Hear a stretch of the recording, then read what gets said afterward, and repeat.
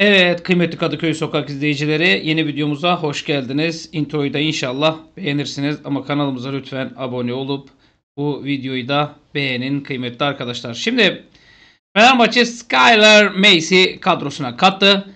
Fenerbahçe Beko'nun eski Portland Trail Blazers guardı Skylar Macy ile anlaşmaya vardı. Açıklandı. Kap açıklaması geldi. Ve Fenerbahçe erkek basketbol takımı son 4 sezonda NBA ekiplerinden Atlanta Hawks, Portland Trail Blazers, Los Angeles Lakers formaları giyen Birleşik Amerikalı guard Skylar Mays ile 2024-25 sezonun sonuna dek anlaşmaya vardı deniliyor.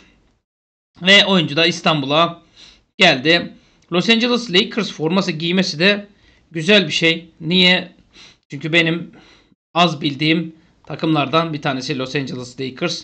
Bir de şeyi biliyoruz. Pennsylvania United sarayı biliyoruz. E, şey Palas'ı biliyoruz. Pennsylvania Palace diye bir şey var. E, takım var. O da gıcık bir takım. Sıradaki habere geçelim.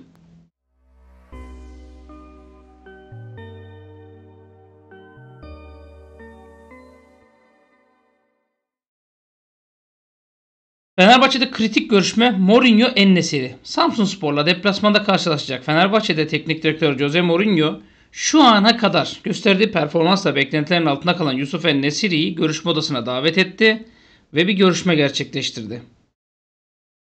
Şimdi faslı futbolcu Fenerbahçe'ye milli takıma mutlu döndü. Ve milli takım formasıyla gol orucunu bozdu. Kendine geldi. Ee, Amrabat'la birlikte takıma katıldı. Çünkü aynı takımın oyuncuları ve Mourinho öğrencisine özel görüşme yapıp milli takım maçlarını takip ettim. İyi bir performans ortaya koydun. Artık kendini burada gösterme zamanı. Sahne senin. Eleştirilere en iyi yanıtı sahada vereceğinden şüphem yok diyor.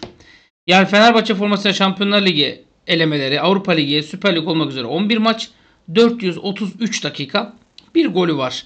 Ama arkadaşlar şimdi bakın bazen bir futbolcunun 20 golü olur. Tamam mı? Hiçbir işe yaramaz. Mesela ben size çok somut bir örnek vereyim. Cengiz Ünder'in geçen sene bir sürü golü var. Neye yaradı? Ya neye yaradı? Da hocam o maçları Fenerbahçe kazandı şöyle yaptı böyle yaptı. Hayır onu sormuyorum. Neye yaradı? E neyi soruyorsun hocam? Ya arkadaşlar hala gözünüzde Cengiz kötü Cengiz. Hala.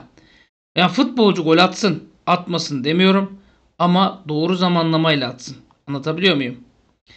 Sıradaki habere geçelim. İnşallah Enesir'de ilk 11 başlayacak diye bir duyumum var arkadaşlar. Bakalım bunu hep birlikte izleyip göreceğiz. Sıradaki habere geçelim.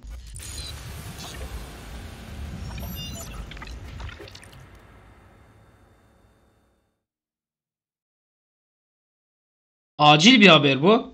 Fenerbahçe'de menajerlere davet edildi. Acil bir çağrı var. Şimdi milli ara bitti. İki yıldızın futbolcusunun sözleşmesini uzatmak için harekete geçildi. Ve 31 Ocak 2021'de 4,5 yıllık imza atan İrfan Can Kahveci Euro 2024 sonrasında bir sürü teklif almıştı. Ama bekletilmişti. Osayi Samuel'de de benzer durum var. Osayi de e, iyi teklifler almasına rağmen bekletildi ve Nijeryalı futbolcu e, sezon sonunda gidip gitmeyeceği şu an için kafalarda tereddüt işareti oluşturuyor. Şimdi Fenerbahçe'ye dair ben bir şey söyleyeyim. Fenerbahçe ne zaman bazı futbolcuların sözleşmesini konuşsa o futbolculardan verim alamıyor. Ya da sosyal medya bizim içimize öyle bir işliyor ki sanki verimi hiç alamamışız gibi konuşuyoruz. E bu da tabii hem futbolcuya zarar veriyor hem bize zarar veriyor. Menajerleri çağrıldı. Her iki futbolcunun da menajerleri davet edildi. Ve e, İrfan'ın temsilcileri Davila ve Cenk Melih Yazıcı, Osayi'nin menajeri Steven Bekle bu hafta içinde, daha doğrusu önümüzdeki hafta içinde görüşmelerin yapılması bekleniliyor arkadaşlar. İkisine de zamlı teklif yapılacak. İrfan yıllık 15 milyon TL kazanırken yıllık 50-60 milyon TL civarına garanti ücreti çekilecek. Yani toplam aldığı para değil, garanti ücretim. Bunlara ayrıca maç başılar falan da dahil değil. Sadece garanti ücret, kesin ücretim. Osay Samuel'in 600 bin euro olan ücretinin 2,5 milyon euroya çıkarılması falan diyor. O sayı 600 bin euro alıyor diyor. Bak haber doğru söylüyor. 600 bin Fenerbahçe'nin teklifi 900 binde. Oyuncu 1.8 istedi. 1.2'de diretti Fenerbahçe. Oyuncu 1.5'a kadar düştü. Hani benim duyduğum bir buçuk civarını Fenerbahçe kabul edecek gibi. Yani ben bunu biliyorum. Ama ötesini bilmiyorum. Şimdi bakın futbolcuların şöyle bir özelliği var. Ee, mesela Ryan Kent. Ben Ryan Kent konusunda size bir açıklamada bulunayım mı? Bulunayım.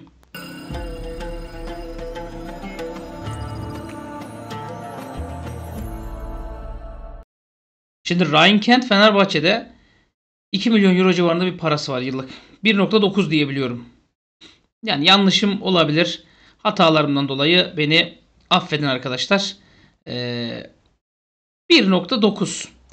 Şimdi futbolcu gitmek için bütün parasını istiyor. Bana bütün paramı verin diyor. Öyle gideyim diyor. Hocam öyle saçmalık olur mu? Ne demek bütün paramı istiyorum? Oynamadığının parasını istiyorum. Kanun bunu söylüyor. Yani İstanbul Sözleşmesi yaşatır diyorlar ama Kent Sözleşmesi öldürüyordu bizi. Mahvediyordu. Futbol hocam işte Ali Koç'un yanlış işleri. Ya nereden aldın nereden? Hayır abi Ali Koç'lukta bir şey değil. Ya Lazio istemiş. Kiralık gel bize demiş. Biz seni oynatalım demiş. Şimdi burada Ali Koç'luk ne var? Allah aşkına bana bir izah eder misiniz? Burada Ali Koç'luk ne var? Ya futbolcunun özür dilerim ama eşekliği başka hiçbir şey değil. Ya eşek sen ne güzel o takım istemiş. Bas git. Sen o takıma gitmesen ya nereye gideceksin ya? Yani Lazio istemiş. Hocam işte Ali Koç'un suçu. Ali Koç'un suçu falan değil. Futbolcunun niyeti bozduydu arkadaşlar. Bozuktu niyeti. O yüzden de kurtulduk. Dün ben söyledim ama çok anlaşılmadı. Bugün Sercan Hamzoğlu açıklamada bulunmuş. Diyor ki Sercan Hamzoğlu yıllık diyor 1 milyon euroya anlaşıldı diyor. Yani kalan ücreti bir bir ödendi. O şekilde anlaştık diyor. Mecburuz. UEFA elini kolunu bağlıyor. Mecbursun. Ya mecbursun arkadaşlar. Ya anlatabiliyor muyum demek istediğimi? İnşallah anlatabiliyorumdur. Bu arada şöyle tonla falan oynayabiliyoruz. Şöyle renk değiştirebiliyoruz arkadaşlar. Ee, Dameto Kosita gibi oldum ya. Yani bunlarla oynayabiliyorum. E, hocam hiç oynamasan daha iyi diyenleri de duyar gibiyim. Yani e, zamanla arkadaşlar. Böyle otomatik desek nasıl oluyor? otomatik de diyemiyoruz. Yani bu ayarlarla biraz uğraşırsam çözünürlük, özünürlük değiştiririz, bir şeyler yaparız. Neyse. E, biraz bu ayarlarla uğraşmam lazım. Bilgisayar taze olduğu için ama benim gördüğüm bir sıkıntı yok. Siz de buna alışın derim. O sayede İrfan Can da bakın bana güvenin. Ben öyle 3-5 tıklama için yapmıyorum bunu. Merak etmeyin. %97 diyordum İrfan Can için %100'e çeviriyorum. İrfan Can kahvecide %100 sözde anlaşıldı. Menajerinin yurt dışında işleri var. Onları halledip gelecek imzalayacak. Osayi Samuel'de de 1.2 1.5 iki tarafın istediği. Yalnız Fenerbahçe yönetimi 1.5'a odaklanmış durumda. Tamam demeye yakın. Yani her an karar çıkabilir. Hocam buradan dönebilir mi? Ya transfer bu. Transferde her an her şey olabilir. Mesela ben size şunu söyleyeyim arkadaşlar. Ee, 81.200 17.500 abone sayımız. Toplamda ne kadar yapıyor? 81 17 daha 91 98 98.700 hocam. Yani 98.700. Bize 1.3 yani 1 1300 kişi geldiği zaman iki kanalımızın toplam abonesi 100 bini geçecek. Siz bunu tahmin edebilir miydiniz? Edemezdiniz. Niye? Yani niye edemezdiniz? Çünkü ya hocam sen diğer kanalı küçük kanala video çekmeyeceksin ama orada sağ olsun Yusuf kardeşimiz çok güzel videolar çekiyor Yusuf Kahyaoğlu. Sora, soruyor arkadaşlar. Hocam diyor diğer kanalı sattın mı? Şöyle mi yaptın? Böyle yaptın. Geçenlerde de Ahmet Ercanlar kanalını e, kaça satmış? 3,5 milyona mı 4,5 milyon TL'ye satmış. Ya benim öyle bir kanalım olsa 4,5'a falan satmam açıkçası. Daha fazlaya satar. Mesela şu anda şu Kadıköy Sokak kanalını satın almaya çalışsalar sizce kaç milyon TL'ye satmam lazım? Değil mi? Ha dertten, kederden, sıkıntıdan kurtulurum ama rahatlarım ben de eve gelir gelmez yatıp dinlenirim, uyurum, ederim ama yani dursun. Biz iki kanalda idare ediyoruz arkadaşlar. İki kanalda e, bizim kanalımız bilginiz olsun. Allah göstermesin. Bak gördünüz geçen sene ambargo uyguladılar. Oraya geçtik ettik. Ambargoyu deldik. Şimdi birdenbire fırlamaya başladık. Daha da olacak. O sayede de dediğim gibi İrfan Can'da da ne olur rahat olun. Hocam yüzde kaç veriyorsun? Yüzde 95 veriyorum o say Samuel'in sözleşme uzatmasına. Ama dediğim gibi bu transfer. Şimdi Ali Koç çıkar. Terbiyesiz bir cümle söyler toplantı esnasında. Futbolcunun zoruna gider. Bilmem ne olur. Şöyle olur böyle olur. Yani ona da bir şey diyemem. Ama e, bir şeyler olacak. Sıradakine geçelim.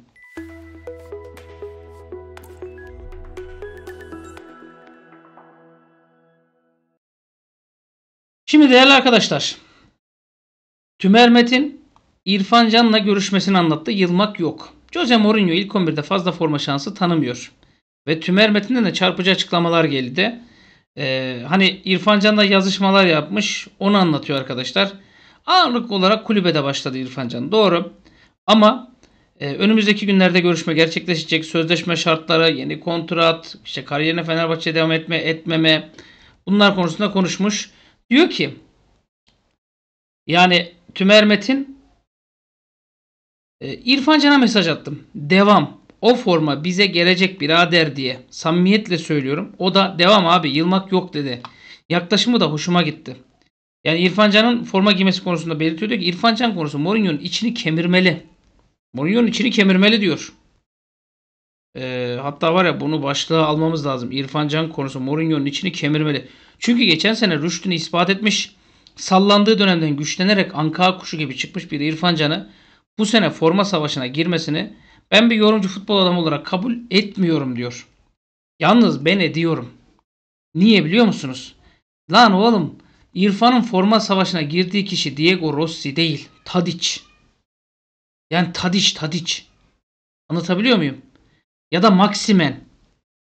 Yani forma rekabetine girdiği isimler rüştünü ispat etmiş isimler. Yanlış anlamayın bu bir kalitedir. Şimdi Arda Güler Real Madrid'de yedek diye Arda'yı kötü futbolcu yapmaz bu ya da Arda Real Madrid'in yedeklerini kötü futbolcu yapmaz. Orada bir rekabet oluşur. Burada da durum bu. Neyse. Diyor ki çocuk hala kendini ispat etme derdinde. Şimdi bu milli takımdaki süreç adam gidiyor iki tane maçı çözüyor. Kritik goller, puan getiren goller bunlar. Ben İrfan Can'ın yerinde olsam tabii bunu 50 yaş birikimiyle söyleyebiliyorum. Yarın yine oynamazsam yaslandırım arkama hiç dert etmem. Mourinho düşünsün artık diyor. Ben de şunu söylüyorum. İrfan Can'ı niye oynatırsın? Kilit açmak için değil mi? Bazı teknik adamlar kilidi 90. dakikada açmayı tercih eder. Bazı teknik adamlar 45'te tercih eder. Bazı teknik adamlar maçın başında tercih eder. Öyle değil mi? Şimdi Fenerbahçe'de kilidi nasıl açacaksın? Maçın başında açacaksın. Ne yapacaksın? Edeceksin. Mesela Şimanski'nin performans tartışılıyor. Maksimen tartışılıyor. Hocam golü yok, asisti yok. Barış Alper Yılmaz'ı biz atıp tutuyoruz. O da aynısı diyorlar. O zaman Maksimen'i keseceksin. Tadic, Şimanski, İrfan Can deneyeceksin. Verim alırsan böyle devam edeceksin. Şimanski iki kat çalışacak. Diyecek ki arkadaş ben demek ki düzelmem lazım. Ya da Maksimen iki kat çalışacak. Diyecek aa forma aslanın ağzında diyecek. Buna göre davranacak. Ama Tümer'in yaklaşımı doğru. İrfan Can'ın yaklaşımı daha doğru. Sıradaki habere geçelim.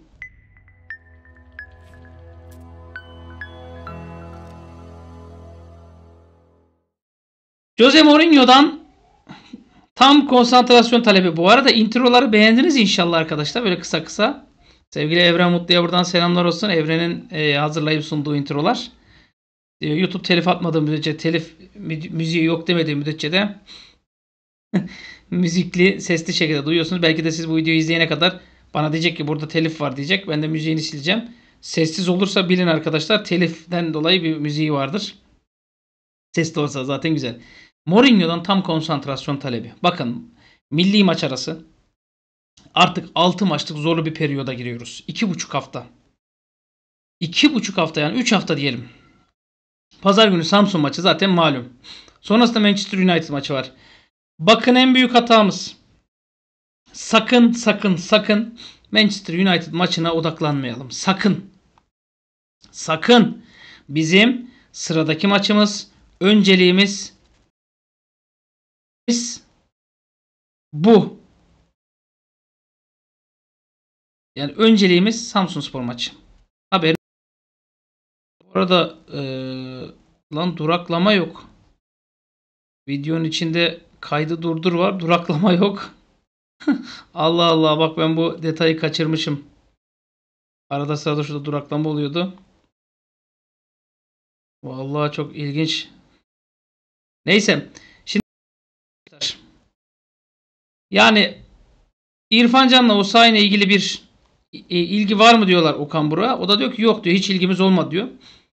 Ya Okan Buruk'un Allah birinden başka hiçbir şeyine ben inanmıyorum. O ayrı mesele. Hatırlarsanız yazın da yine bir isim vardı. Ee, şu ilgimize yok bu ilgimize yok demişti. Hatırlayın arkadaşlar. Bir, birisine ilgili bir şey söylemiştim. Sonra gidip transfer etmişlerdi. O yüzden Okan Buruk'un Allah birinden başkası hiçbir şeyine inanmıyorum. Neyse. Şimdi Manchester United, Bodrum, Trabzon, AZ Alkmaar maçı, Sivas maçı. Ya Fenerbahçe'nin belirleyicisi olacak diyor. Ama ben Fenerbahçe taraftarına yalvarıyorum, rica ediyorum. Ama lütfen arkadaşlar, lütfen, lütfen sadece Fenerbahçe'ye odaklanın. Başka Fenerbahçe'yi en önemli maçımız bir sonraki maçımız. Ondan sonra önemli maçımız bir sonraki maçımız. Ondan sonra önemli maçımız ondan sonraki maçımız. Yani her zaman en önemli maçımız oynayacağımız maçımız. Oynayacağımız maçtan hariç bizim önemli maçımız yok. Lütfen bu gerçekte yüzleşin artık. Ya abi biz bir maç 5 maç sonrasını düşünüyoruz. Ya 5 maç sonra da şu var. İşte ne bileyim dikkat etsin. Şu buna dikkat etsin. Bu buna dikkat etsin. Ya Galatasaray yenilgisi Fenerbahçe taraftarının canını sıktı. Kabul. Ama bir taraftan da ulan iyi ki de, de, demeye doğru gidiyorum. Ya bir şey oluyor. Şu olmuş bu olmuş diyor. Bir şey oluyor. Şöyle olmuş böyle olmuş diyorlar. Ya arkadaş bir işimiz odak. Ya hocam e, işte 5 maç sonra şununla maçımız var. Ya işimiz odaklanalım. Hedefimiz Samsun maçı. Hedefimiz ilk olarak Samsun maçı. Samsun maçını kazanalım. Sonra sıradaki maç ne? Odaklanalım. Sonra sıradaki maç ne? Odaklanalım. Ben ısrarla şiddetle söylüyorum. Eğer Fenerbahçe'nin iyiliğini istiyorsanız ben Fenerbahçeliyim arkadaş. Fenerbahçe'nin başarıları beni mutlu ediyor diyorsanız sıradaki maça odaklanın. Olur mu? Rica ediyorum. Rica ediyorum arkadaşlar. Anlatabiliyor muyum? Teşekkürlerimi sunuyorum. Sıradaki videoya geçelim mi? Geçelim. Sıradaki intro.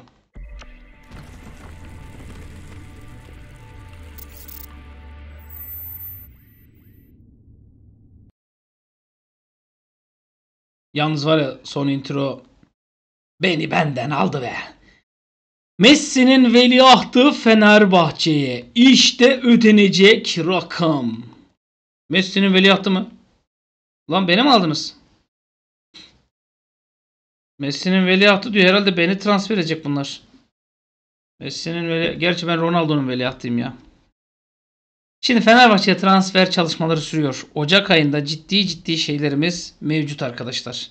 Ve e, bazı görüşmeler var. Güçlendirmemiz gereken hususlar var. Bazı konuşmalarımız var. Bazı muhabbetlerimiz var. Şimdi Barcelona'nın 21 yaşındaki sol kanat oyuncusu Ansu Fati. Bir taraftan Ansu Fati'yi alma derdimiz var. Ee, yani bir taraftan Ansu Fati'yi alma derdimiz var. Diğer taraftan başka isimlere odaklanıyoruz. Mesela şimdi Messi'nin veliahtı Ansu Fati Messi'nin veliahtı mı? Aslına bakarsanız bana sorarsanız tam veliahtı sayılmaz ama haberde veliahtı diyor. Demek ki haberde dediğine göre doğru. Oynuyor, ediyor ama katkı veremiyor. E Fenerbahçe ihtimali ciddi 15 milyon euroluk bir ihtimal var. Hani e, başka şeyler de var. Ben size bir şey söyleyeceğim. Siz kime odaklanın biliyor musunuz? Anthony, Manchester United.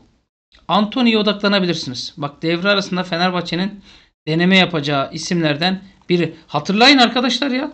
Kent gittikten sonra biz şimdi Kent gittikten sonra Ansu Fati, Anthony, Medina hani hangisinin alınmasını istersiniz? Bir düşünün bakalım.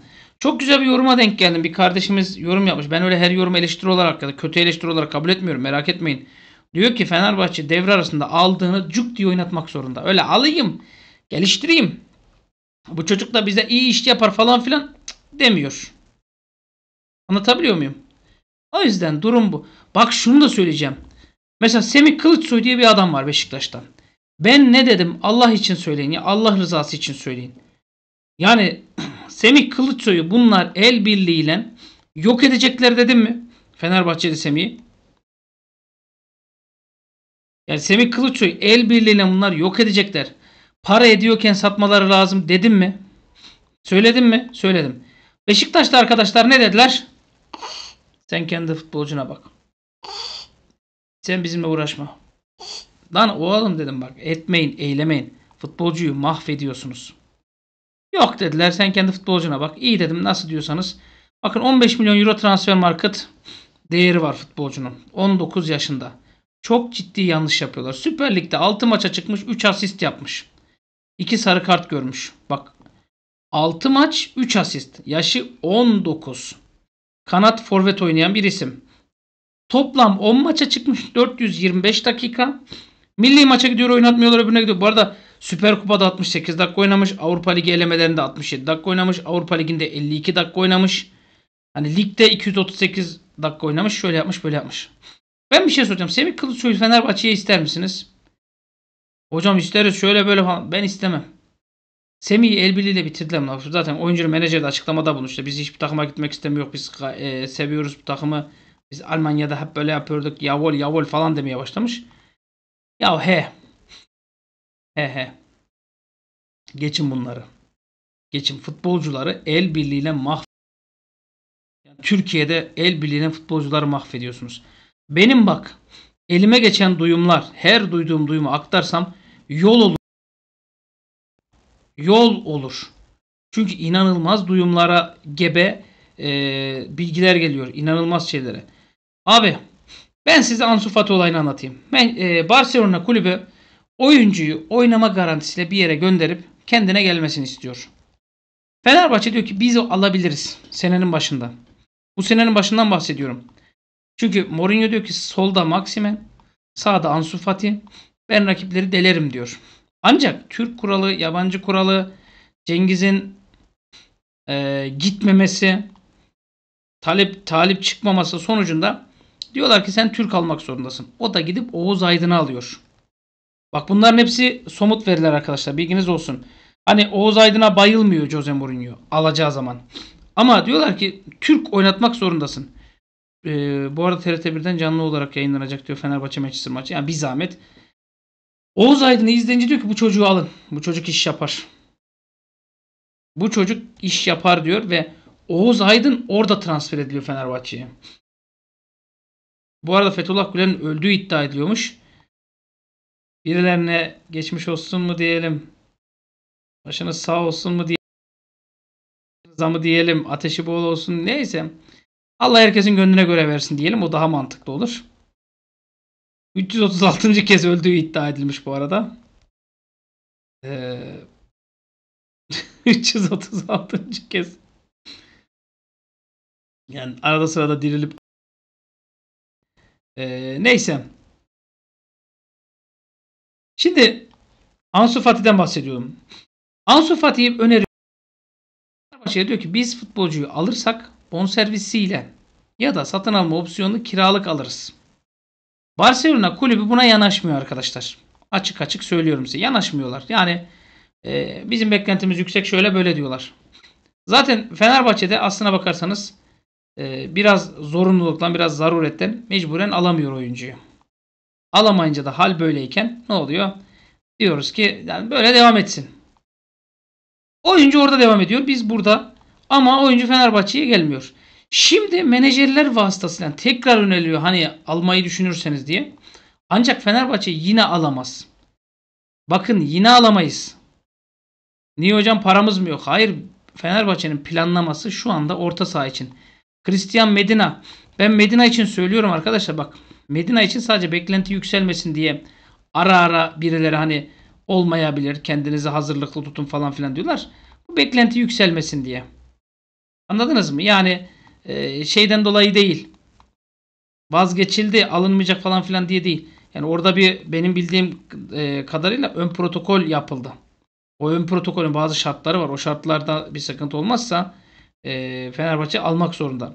Ama güzelce bir indirimi kaparak almak zorundayız. Çünkü o zamana kadar oynama izni verdiğimiz için iyi de Medina Anthony konusunda. Biz Anthony konusunda hedefimizde Anthony var arkadaşlar. Bilginiz olsun. Manchester United'dan Anthony bizim hedefimizde. Ali Koç çıksın desin ki yemin ediyorum Anthony gündemimizde değil desin ben Ali Koç'u yalanlıyorum. Jose Mourinho çıksın desin ki ne Antony'si güldürmeyin adamı. Antony falan hedefte değil. Ben Antony yani Jose Mourinho'yu yalanlıyorum. Antony'nin kendisi çıksın desin ki ne Fenerbahçe'si öyle bir görüşme olmadı. Ben Antony'yi de yalanlıyorum. O kadar sağlam ki duyumum, o kadar sağlam konuşuyorum ki haberiniz olsun arkadaşlar. Ben çok açık, net, şeffaf şekilde söylüyorum. Bu görüşme var. Oyuncu takip ediliyor. Oyuncuya talibiz. Hani e, bir Osimhen'in transfer market değeri yüksek. Eğer transfer market değeri düşük olsaydı kimse işte zamanında da şu kadar milyon euroydu Galatasaray kiralık getirdi demezdi. Anlık 100 milyon euro olunca adı ne oldu? 100 milyon euro futbolcu getirdi. Antony'yi kaç aldılar? O yüzden Fenerbahçe'nin Antony transfer hedefi gerçek ve Antony transfer hedefinde Fenerbahçe e, yoluna devam etmiş şekilde devam ediyor. Antony alma ihtimalimiz Ansu Fati alma ihtimalimizden çok yüksek. Medina'da gelecek. Yani bilginiz olsun Medina'da gelecek. Bendeki duyumlara göre durum bu. Duyumlar bu. Ee, hayırlısı. Bunun dışında söyleyeceğim bir şey var mı diye bakıyorum. Başka da söyleyeceğim bir şey yok. Biz Messi'nin veliahtını değil de biz Neymar'ın veliahtını alsak. Bence Anthony Neymar'ın veliahtı sayılabilir. Neymiş Kemal Gülen?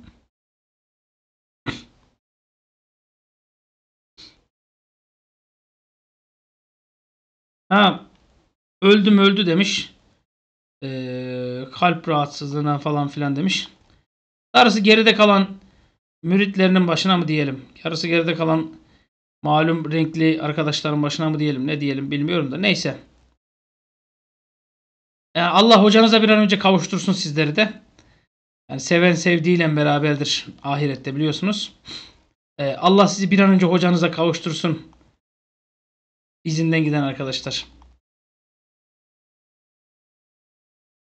Neyse. Durumlar bunlar arkadaşlar. Yani Messi'nin veliahtı Fenerbahçe'ye işte ödenecek rakam. Aslında buraya şöyle yazsam. Fenerbahçe'ye yeni Neymar devre arasında kapa hazır olun. İşte detaylar. Bence bu daha doğru bir başlık oldu. Messi'nin veliahtı e, bence o değil ama Neymar'ın veliahtı bence Anthony ve bu Anthony'yi ne olur arkadaşlar bak inkar etmeyin. Yarın bir gün bir şey olur. Ne olur şunu da diyebilin yani. Ya, hakikaten Mustafa Hoca söyledi dedik. Deyin. Ajax'tan 95 milyon euroya aldılar. Bak 95. Ajax'ta Sao Paulo'dan 15.75 aldılar. Yani 110 milyon euroluk bir piyasası var bu çocuğun. Ya da 95 aldı 95 diyelim.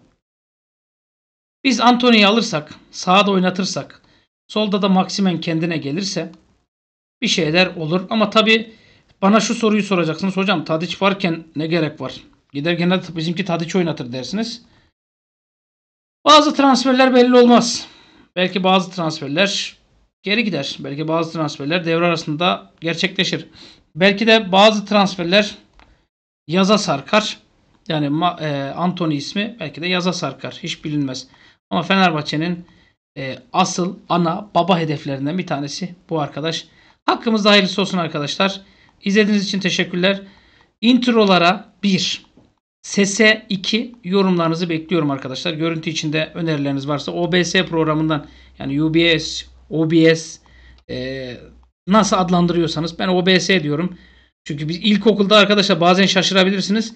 İlkokulda İngilizce kelimeleri okunuşu gibi söyle söylüyoruz biz müfredat gereği. E, o yüzden de alışkanlık oluyor bazen. Bazen İngilizce kelimeyi gördüğüm zaman direkt Türkçe okunuşuyla söylüyorum. Seni cahil sen öğretmen olmuşsun ama İngilizce öğrenememişsin falan diyorlar. E yani e, aklınıza yanlış söylemiş olayım. Neyse. Teşekkürlerimi sunuyorum hepinize. Katılımlarınızdan dolayı yorumlarınızı bekliyorum. Görüşmek üzere arkadaşlar.